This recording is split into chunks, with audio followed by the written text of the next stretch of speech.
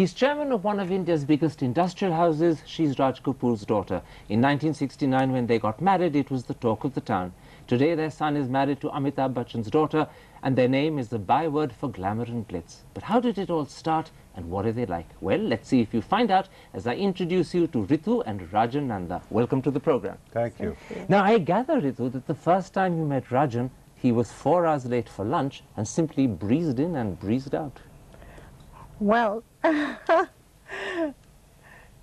it was a neighbor who introduced us and fixed up this lunch. And he had come for some meeting in Bombay. And of course, meeting a girl was just incidental. And he saw me at 5 o'clock in the evening before taking a flight back home to Delhi. But um, that's how it all started. And did he say, I'm sorry I've kept you waiting? I can't remember. But Well, I um, do remember that my father-in-law, who I was not very conscious of, I walked into his house and he said in his very typical uh, voice, he said, ये कोई आने का time है lunch पे हमने आपको lunch पे बुलाया था. And I told him, I said, look, I had a prior appointment with my grandfather. And he took offense to the fact that I uh, did not make that appointment. So I'm sorry, I'm here anyway. Ah, but I remember, you know, Papa offered him a drink, you know, offered him a gin, he took it once, he offered him another drink, he took it. and when he offered him for the third time, he said, sorry, sir, your hospitality is great, but I just can't take it. I loved it. You said that was the first time I said, oh my God, I like him. because he here's a man who can stand up to my father? I think so. I think all girls have a, a father complex and uh, somebody who could talk to my father and, you know, impressed me. In fact, the other amazing thing with that beginning was Ritu didn't do much talking for the first four or five meetings, did she? Well, at first instance, I was eligible for marriage. My father had given me many propositions to meet families and girls. And I was very conscious of this. And I said, look, I have a sister, and I wouldn't like to have a regret for my sister if somebody came to see her. So um, when I was approached and I met with Ritu, I liked her. But I was not quite sure she was going to be my companion. I wanted to talk to her, and she was terribly shy. She wouldn't even speak. And on only on the third occasion when we met in Delhi, her mother was talking about an incident where she got chicken pox, and she didn't know that she had chicken pox till it was all over. And Ritu finally gave the golden words of saying, Mother, I could sue you for child negligence. And I said, okay, this girl's got something in her. And I went back straight to my father and said, I made up my mind, I'd like to marry. But you really mean to say that if you hadn't heard that little story, you might would. never have made up your mind? I was not looking for just a pretty face. The amazing thing is after he made up his mind, he wooed and courted you like mad, didn't he? Down to the point when your father even ticked him off once. yes, he would come every weekend from Delhi to Bombay, and he was my weekend friend. And like I said, it was an arranged engagement. But by the time we got married, it was a love marriage. Were you surprised that you'd fallen in love with him so fast? No, I waited for him for long, and I was so happy I found him. You know, my, my father-in-law, uh, you know, every weekend I'd come with a bouquet of flowers on a flight from uh, Delhi. And he took me aside that one evening and he said, आपको दिल्ली में कोई काम नहीं है? And I was so, so self-conscious of that statement because I was very conscientious about my work and my responsibilities, etc., etc. I felt very offended. And I wrote promptly a letter to Ritu expressing my deep concern and, and disappointment at what her father had said. And threatening not to come back again? Oh, No. no, not that far. I didn't do that because I had many o- overwhelming calls from Bombay. He said, please do not take him seriously. Now, in fact, your father composed a special Bidhai song, I gather, for your wedding. Yes, in fact, you know, that's the most prized possession that I have of my father today. Uh, that song actually is mentor of my life and um, it was created when I got married in 69. Mukesh uncle had sung it and Shankar uncle and Jackie uncle had, you know, composed the music. I suppose they did it because Papa's friends. Um, uh, and he was virtually ruling the film industry. It was a song of love made with a lot of uh, messages which any father would give to a daughter. But today I have that song in Papa's own words. The original was sung by Mukesh Uncle, but two months after Papa died, Mr. D.V. Kapoor, who is a very dear friend of Papa, he came to condole and when he gifted me a cassette and he said that a month after my marriage, which was in 69 February, Papa had gone to Moscow and uh, in Mr. D.P. Dhar's house, he was, um, people were talking about the marriage and he was remembering me and he sung that song. He took a thali and he played the beat and he sung that song in his voice and uh, they recorded it. Do you remember any of the words of that song? Yes, like I said, it's a mantra of my life, and it just meant ladli, meri nazo ki pali, chaldi teri doli, mote wali. And in fact, it was, um, uh, it's like I said, all parents bring up their children with certain uh, mm, ways of life, and uh, it was like after giving all those messages, it was like धीरे धीरे मुझे भूल जाना और अपने माँ बाप नए माँ बाप के साथ जिंदगी A sort of- बिताना Parting gift to you to say, yes Since I'm an Remember- agriculturist, I'll interpret her uh, story as a paddy field where you transplant from one field into another. and that's what the message he was trying to give her. Adapt That's yourself true. to the new family, accept them as your parents, and give us secondary importance. I mean, he was a man very emotional and he believed in very fundamental things of relationships. And he's cast so many stories around emotions. And he has uh, given all those values to Ritu, which has made Ritu the wonderful girl she is. but it's not just your I like what Rajan is saying nice words Rajan keep talking You mean to say he doesn't say them as often as you should? no You're a bit remiss, aren't you? it's not just your father-in-law.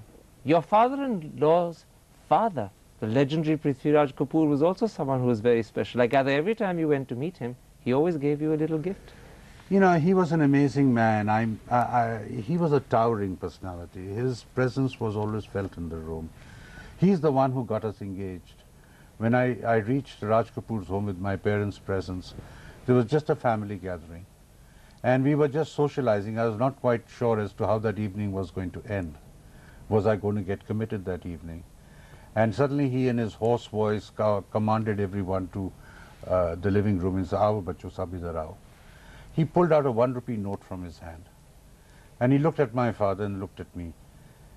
He said, Nanda साहब मुझे आपका बेटा पसंद आ गया और नंदा साहब आपको मेरी बेटी पसंद आ गई ये लीजिए ठाका Subsequently, Ritu and me uh, used to call on him as Juhu Kutia. And he gave me three pieces of advice which I value in practice even today.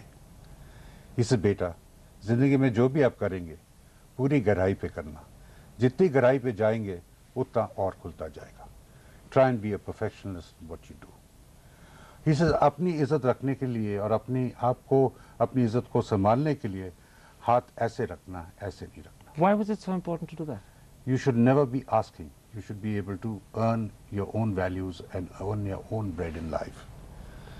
And third thing he told me, which is the most important thing, which always drives us in different directions, is that wealth of an individual is in him, not around him, So in a sense, those are lessons that you keep with you as a company chairman always. always.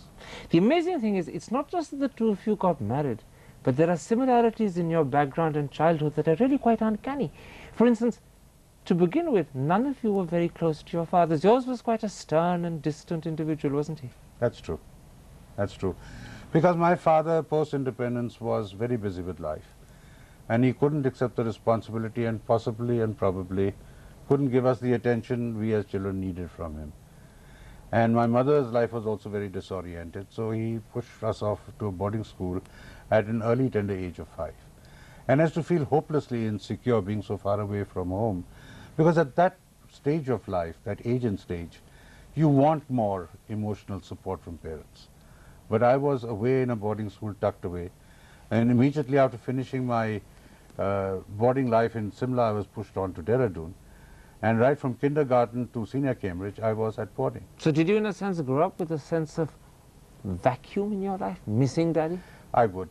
Missing family, uh, life and living with more emotion, living with soft, but rather than living as a disciplinarian under the command and control of a school. On the other hand, your father was so busy, you hardly ever got to see him as well. That's true. The timings were so different. When he would come home, we would be sleeping, and when we would, we were at school during the day, he was at work. You took to leaving letters under his pillow. Yes, that's the only way I could communicate with him. I would write little notes. I needed a piano. I wanted a piano, and I remember, you know, writing letters. Please get me my piano. When is the piano coming? And whatever I wanted, you know, whether it was a can-can or a doll's wedding, anything, it always was a note under his pillow. Years later, after he died, you wrote a book on him, and you said at the time that the book helped you understand your father. Did you really mean that? That's true, you know.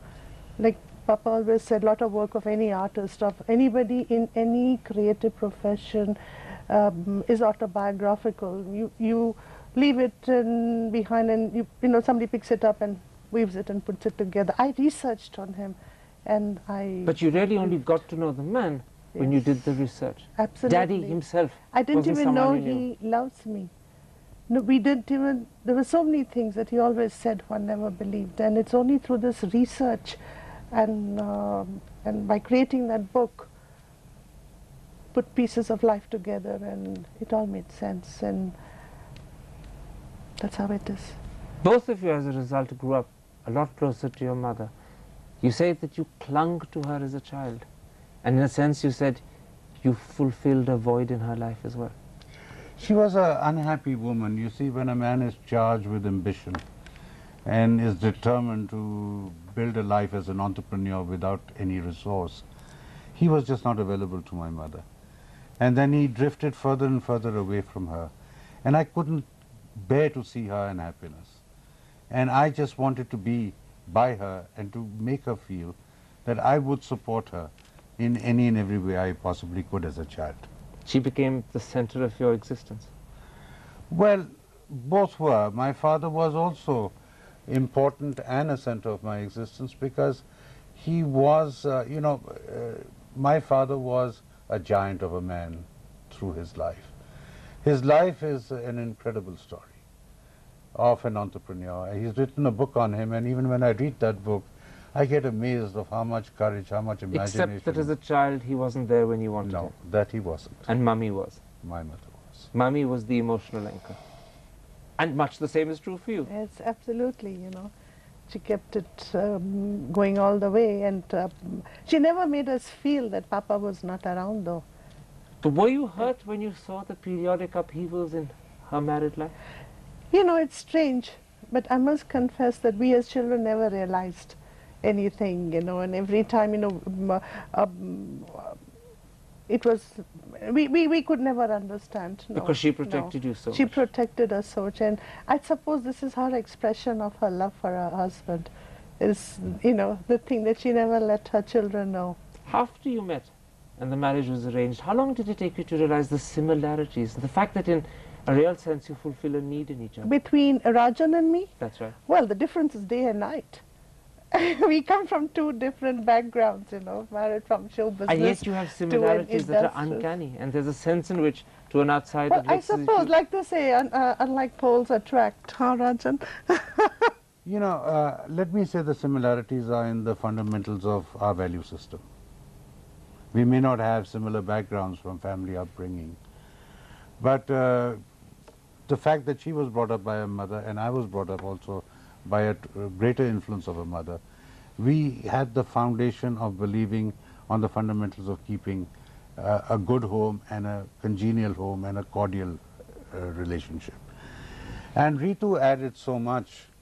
She came into the family and she believed in the fundamentals of relationships. She built those relationships. And today she enjoys the respect of, of my family more than I enjoy within my own. And she is such an incredible woman that she's changed my ways too.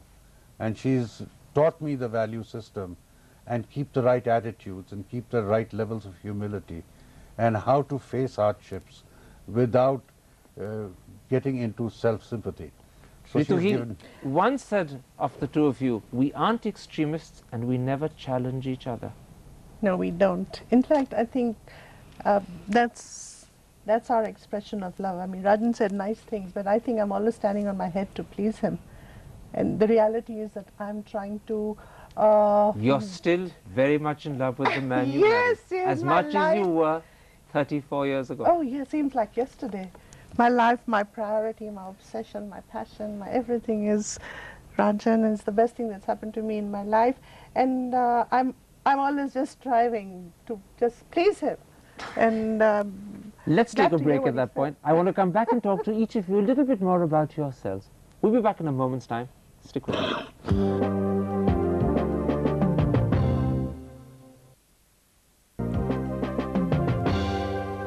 Welcome back. My guests are Ritu and Rajan Nanda. Let's talk a little bit about yourselves. Now, you are today the chairman of one of India's most successful companies, and yet I gather you dropped out of college and you never trained to be a businessman. Which is absolutely true. I, I never took to school education. It never fascinated me. Practical life did. My father inducted me into a college in Delhi. And I found that I was wasting most of my time and in all sincerity I went to my father and told him if it's inevitable that I've got to join you, take me in now. I'd rather learn the business practically. I, I was absolutely astonished that he accepted it. Are you a better businessman because you never trained to be one, never did an MBA like everyone else does? I believe that very sincerely because I didn't overstructure myself with education. I have a freer and an open mind and I uh, use more imagination and common sense in taking my decision. Judgment is a very great keen uh, key factor in uh, looking at a, a institutional management job and I personally think it's helped me enormously. Of course, Ritu, he's not the only entrepreneur in the family, so are you. but is it true that Nikitasha happened because one day you came home, there wasn't any It's gas true. and dinner was late? yes, yes, actually, working is the best thing that happened to me and my marriage. Like I said, we come from two different backgrounds. Love there is, love there always will be. But you know, to a man, especially to Rajan, he's a total workaholic. Everything, his life, his priority, passion, obsession is work, work, work. And I realized after a certain stage in life that uh, mm, uh, I, you know, he, he was always interacting with chairman and managing directors and all, and it didn't mean anything to me till I started working. And the day I started working, everything became alive. And it was my way of flirting with Rajan to get his attention by trying to be something, trying to achieve something. You, you're not joking. You, you're serious when you say that Yeah. you got a job and started a company Yes. because it was your way of getting his Like, attention. you know, earlier I was only a housewife. Today I'm also a housewife. It started in the kitchen with Nikitasha. And mm, it started accidentally when I was cooking. and then there's the famous LIC agent, the best and the most successful. How did that start? Well, there was a girlfriend of mine, Indraji, who suggested that I become an agent. She used to work with LIC. And uh, it was a stage of my life when, where I was looking for a occupation. And that's how I became an agent. And earlier I was selling kitchenettes and televisions. And now the only different thing was I was selling insurance products. So I just marketed them with a different vision and I had a lot of fun uh, in uh, being an agent. You married a wife. Do you think you've got a rival in the bedroom? None whatsoever, because I think uh, what she has done is uh, in a total contrast to what I'm doing. She does not interfere with anything I do. She doesn't even wish to keep fully informed in how I'm performing in business. Does she take your advice on her business? Uh, not really, and this is where we keep our two activities away from each other. I think what she's done, she's given pedigree to whatever she's done i- in the work of corporate art or as a LIC agent. LIC agents, agents were real downstream people, and she's given it a ramp up by what glamour she's given to as an agent. As for myself, I admire that achievement in her because I succeeded my father, who was an entrepreneur, and entrepreneurs are individuals. As I always say, self-made men are men who saved God a lot of trouble because they made themselves. but, you know, but they are very individual oriented. An entrepreneur, because in the past, the first generation of industry was by names of families. So when I stepped in, I realized I had to convert an individually led company to an institution. So I became very professionally oriented man. So I admire what she does. She also has institutionalized art or insurance. Now, I must tell you something your son says about Rajan. Your son says, Daddy is very shy, but he loves attention. From those who I'm emotionally attached to. And like I tell, I was telling you, I'm standing on my head to please my husband. Attention is everyone's weakness. I wouldn't deny it. And he likes you standing on his, your head. Well, He'd be upset if you didn't. obvious. he true. also says that Daddy claims that he hates parties, but every time his birthday comes around, he can't stop asking, what are we planning? Well, I, I, I love parties, but as, as we get along in life, I'd like to uh, be connecting with people. I don't like large parties. Even if it were my own birthday party, I'd like it to be more intimate. I'd like it to be more interactive. so it's relationships rather than just crowds. Correct. And then he says, every time Daddy does something that makes him feel guilty, Mummy gets another ring. Oh, I really don't mind that, you know. Are some of those beautiful rings on your finger signs of Rajan's guilt? Absolutely. Some I had to buy and gift him on his birthday, things that I wanted, and some, you know, he just bought and gifted them to me. They're the amazing thing is that it's not just you that married into Bollywood, your son did too. And in each case, you've married into the homes of the best and biggest stars of your time. Is that just a coincidence? Total, absolute total. Our marriage was uh, really put together by a man who was a supplier to escorts, and he felt that I, I was a candidate for Raj Kapoor's And your daughter. sons? Uh, you know, first of all, I must give you this little bit. Uh, he put me together with her father without she being there, and he asked me how was the evening. I said, look, I'm not marrying Raj Kapoor, I'm marrying her daughter. So that impressed my father-in-law. As far as my That's son also is concerned. another reason I said, hey, I must see this guy. And then, uh, as far as Nikhil is concerned, uh, he too met Shweta through some common friends who are designers, very good friends of ours, Abu and Sandeep. And they put the two together and they took an instant liking for each other. And that's how Amit and Jaya and Ritu and myself got together and gave our nod to their uh, meeting and deciding what they wanted to do in life. And they make a wonderful uh, couple. But it's very ironical, you know, how, I mean, it, it, it's the same thing, you know. She comes from the same world that I did, and it's the same way, you It's a bit like history Yes, repeating It itself, is really isn't history It is. repeating itself to the T. Do you smile sometimes when you look at it and say, fate has had its last laugh? Well, I'm happy at what fate is doing because I love what has happened.